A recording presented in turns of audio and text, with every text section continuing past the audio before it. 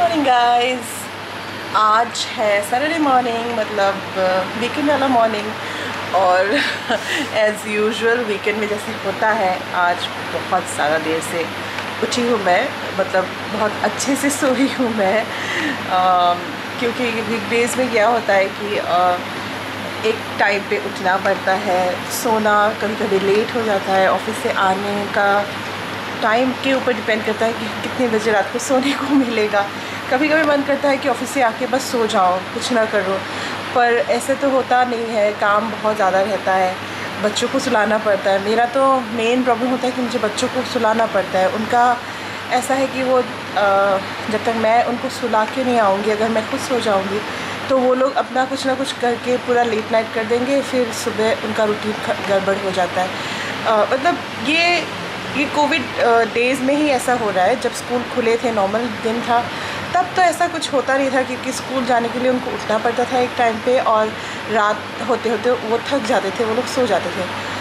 पर अभी जो मतलब बैंड बजा हुआ है उनके रूटीन का तो उसको ठीक करने के लिए आ, मैं मैं उनको पहले सुना देती हूँ ज़बरदस्ती स्टोरीज़ वगैरह सुना के। कुछ भी करके मतलब कुछ भी जो वो मेरे साथ करना चाहते हैं वो सारा कुछ करके उनको सुला के। फिर क्या होता है कि जो एक मीठी नींद आती है ना मतलब थकान वाली नींद आती है ना, उसका टाइम जब तक ओवर हो जाता है। उसके बाद नींद आना बहुत ज़्यादा मुश्किल होता है। मतलब लगता है कि बस अभी मोबाइल पे कुछ ना कुछ वीडियोस देखती रहो टाइम पास करती रहो, पर फिर सुबह को उठना तो पड़ता ही है उसी टाइम पे और ऐसे ऐसे होके थोड़ा थोड़ा स्लीप लॉस हो जाता है। तो व्हाट आई डू मैं वीकेंड में मतलब बाहर में जाए मॉर्निंग रूटीन कुछ भी हो पर मुझे वीकेंड में सोना होता है मैं सो जाती हूँ मैं अपना नींद कंप्लीट करके उठती हूँ so that I feel fresh और नेक्स्ट वीक के लिए जितना भी एनर्जी है आ, अपने बॉडी में उसको मैं प्रिजर्व करके रख सकती हूँ। सो हाँ यस टुडे सैटरडे और ऑब्वियसली अभी तो लॉकडाउन चल रहा है कहीं जा नहीं सकते तो ऑब्वियसली घर ही कुछ काम होगा।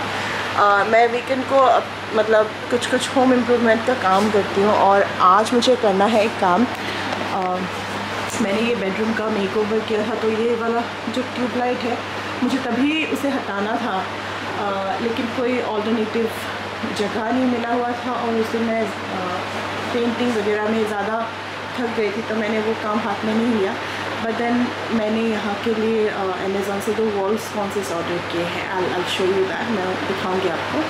तो वो दो वॉल्स कॉन्सेस मुझे दोनों वॉल में लगाना है और इस ट्यूब को यहाँ से हटाना है। इस ट्यूब को मोस्ट प्रॉब्लम मैं किसी और वॉल में लगा दूँगी। ट्यूब लाइट की तो इस बेडरूम में बहुत ज़्यादा ज़रूरत है बिकॉज़ नेचुरल लाइट का सोर्स बहुत कम है। बस ये एक खिड़की है जहाँ से थोड़ी सी रोशनी आती है और वो छोटी सी एक खिड़की है वहाँ से थोड़ी सी रोशनी आती है। बाकी तो पूरा रूम ही ना काइंड ऑफ़ पैक्ड है। तो यहाँ पे आर्टिफिशियल लाइट्स चाहिए मुझे। और तो मैं सोच यहाँ दोनों तरफ़ वॉल्स कॉन्सेस लगा दूँगी तो थोड़ा सा ये बेटर दिखेगा। आ, तो आज ये है एक काम एक काम और है मेरा मेरा जो मैं जिसमें एडिटिंग करती हूँ जो कंप्यूटर है मेरा। तो आ, वो कंप्यूटर एक्चुअली नीचे वाले रूम में है और मुझे क्या होता है एडिटिंग के लिए दिन में तो कभी टाइम मिलता नहीं है वीकडेज़ में भी नहीं और वीकेंड में भी नहीं मिलता है। वीकडेज़ में तो खैर मैं ऑफ़िस में ही रहती हूँ। तो मैं सोच रही हूँ वो वाला कंप्यूटर आज मैं ऊपर वाले फ्लोर में ले आऊँ जो बच्चों का रूम है वहाँ पे। क्योंकि बच्चे मेरे वगैरह सोते नहीं हैं तो अगर मैं वहाँ पे बैठी रहूँगी तो वो लोग सो जाएँगे और दूसरा मैं थोड़ी देर एडिटिंग के लिए अपना डिवोट कर पाऊँगी बिकॉज़ शूटिंग तो हो जाती है पर एडिटिंग में थोड़ा सा टाइम लगता है और you need a you know peaceful environment थोड़ा सा पीस लगता है मुझे बिकॉज़ शाम में तो बहुत ज़्यादा क्योटिक हो जाता है घर में। बच्चों के साथ टाइम स्पेंड करना पड़ता है फ़िल्म वगैरह और शाम में बहुत सारे काम हो जाते हैं। तो जब सब सो जाते हैं उसके बाद यू नो मेरा क्रिएटिव माइंड जाग जाता है और मुझे रात को ही एडिटिंग करना पसंद है। सो so, आज बेसिकली मेरे ये दो काम है और बाकी का मैं देखती हूँ। आई व्लॉग अलॉन्ग तो आप लोग प्लीज़ देखते रहिए मेरे साथ। मेरा सैटरडेज और संडेज़ का रूटीन गुड मॉर्निंग কেতিয়া উঠিলা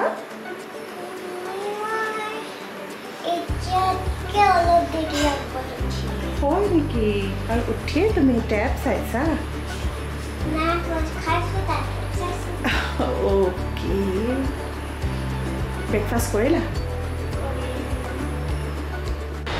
सो so, अभी साढ़े ग्यारह बजे दिन के और फ़िलहाल सीन ये है कि मेरा जो कंप्यूटर है एक्चुअली मेरे पास एक डेस्कटॉप है मैं इसी पे एडिटिंग करती हूँ। तो मैं उसे ये वाले बेडरूम में लेके आई हूँ जो मेरे बच्चों का बेडरूम है।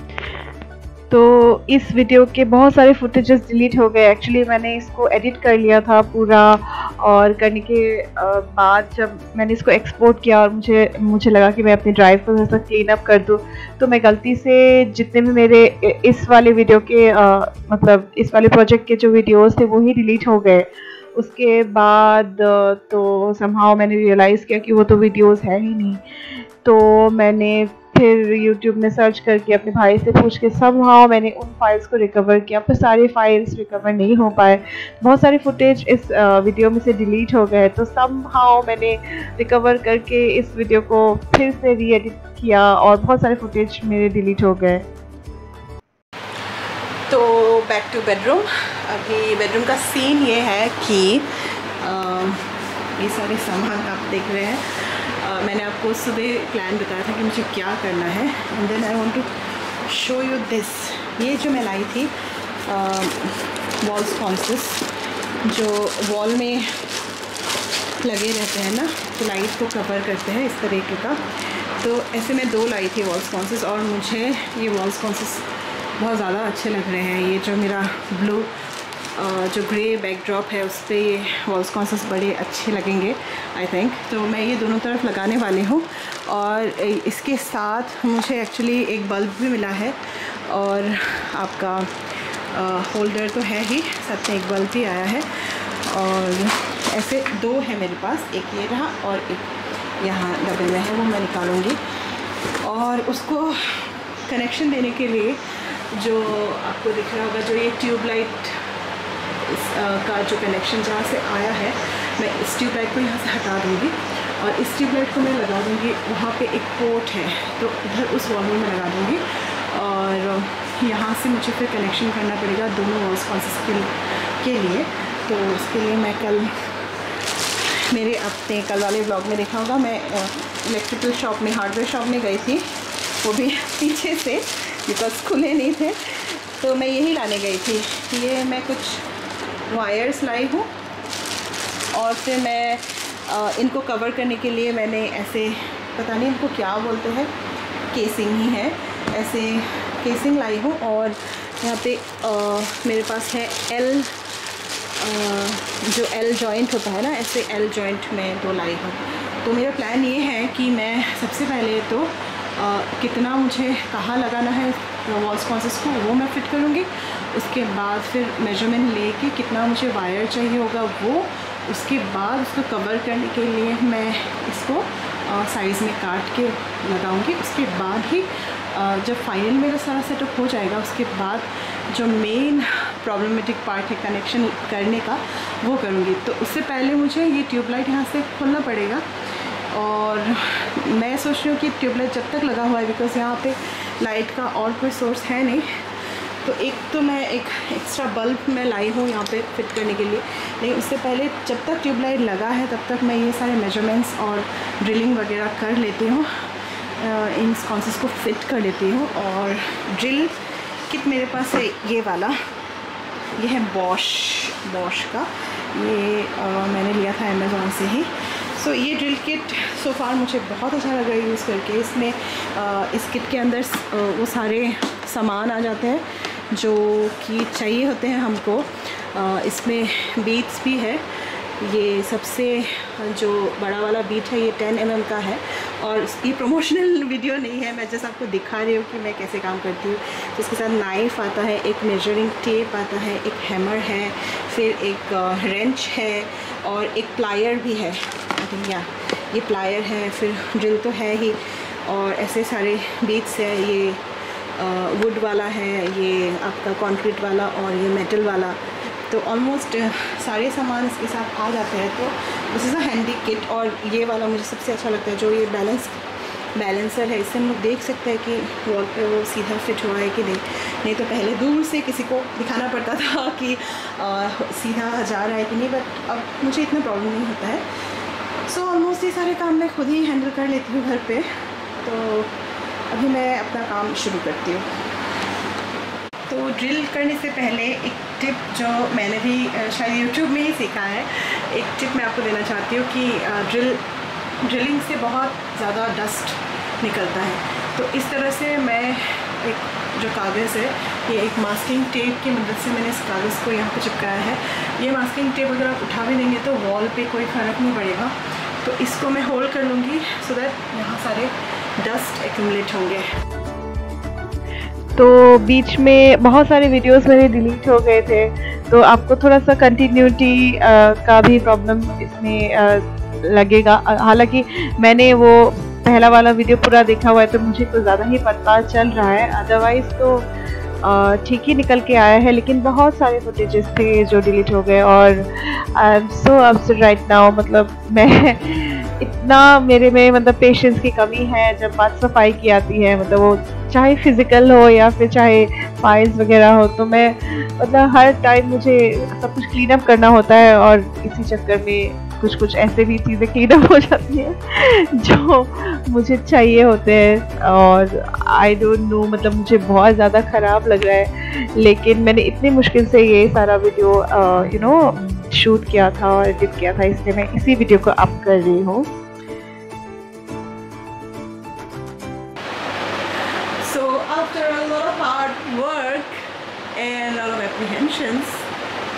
My lights are working now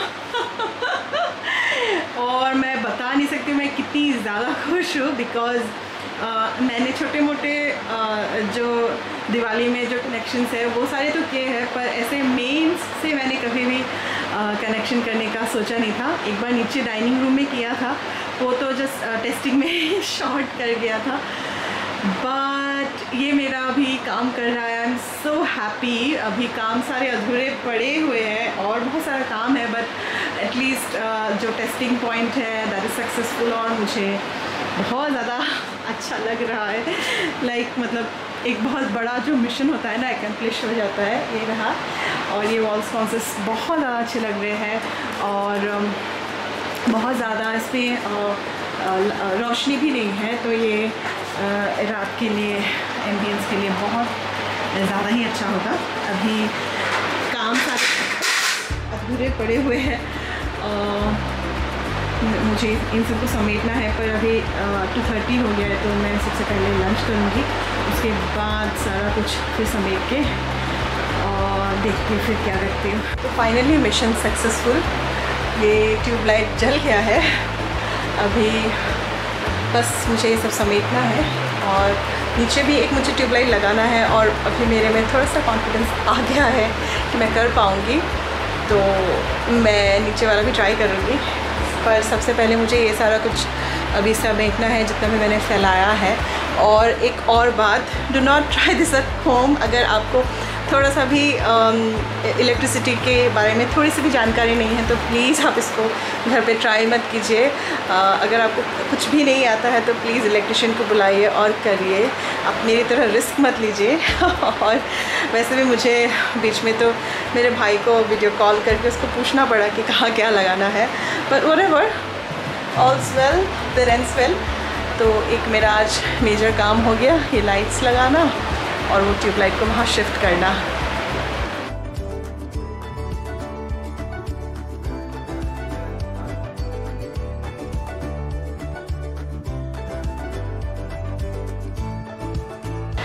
हाय तो शावर मैंने ले लिया अभी। आ, बहुत लेट हो गया शावर लेते लेते अभी थ्री थर्टी हो गया है। और शैम्पू नहीं किया मैंने आज क्योंकि कल संडे है और कल मुझे प्लीज़ बाद में है ना मतलब मेहंदी लगानी है। तो इसलिए मैंने आज शैम्पू नहीं किया और I just loving the background और अभी मैं जा रही हूँ एक्चुअली मेरे नेबर के घर पे। एकदम मेरे नेक्स्ट डोर नेबर है। नेक्स्ट डोर भी नहीं बोल सकते ये वॉल पूरा कनेक्टेड ही है हम लोग का क्वार्टर्स है तो नेक्स्ट वॉल नेबर है। Uh, मैं वहाँ जा रही हूँ कुछ काम से। और मेरे जो नेबर है ना उनका गार्डन बहुत ही ज़्यादा सुंदर है और बहुत यूनिक तरीके से उन्होंने रखा हुआ है। तो मैं थोड़ा आपको उनके गार्डन का भी क्लिप्स दिखा देती हूँ। चलिए मेरे साथ। तो इस वीडियो को एडिटिंग करते वक्त मैं एक ब्लंडर हो गया था मेरे से आ, मतलब मैंने इसको एक्सपोर्ट किया और सारे मेरे मैंने फुटेज डिलीट कर दिया एक्सीडेंटली तो समहाउ मैंने फुटेज को रिकवर किया, लेकिन मैं ज़्यादा रिकवर नहीं कर पाई. सो ये जो गार्डन है, मैं आपको एक अलग वीडियो में इसका फुल टूर दूँगी. Please don't mind for this और मैं बहुत ज़्यादा फ्रिकआउट कर गई थी पर समहाउ मैंने इस वीडियो को रिकवर किया है और होप आपको ये वीडियो पसंद आया होगा. और अगर पसंद आया है तो प्लीज़ मेरे चैनल को सब्सक्राइब कर लीजिए. और अगर ज़्यादा ही पसंद आया है तो अपने फ्रेंड्स के साथ शेयर कर सकते हैं. और अब से मैं हफ़्ते में दो दिन वीडियो देने वाली हूँ तो मेरे वीडियो का फ्रिक्वेंसी बढ़ गया है तो प्लीज़ देखते रहिएगा। Thanks for watching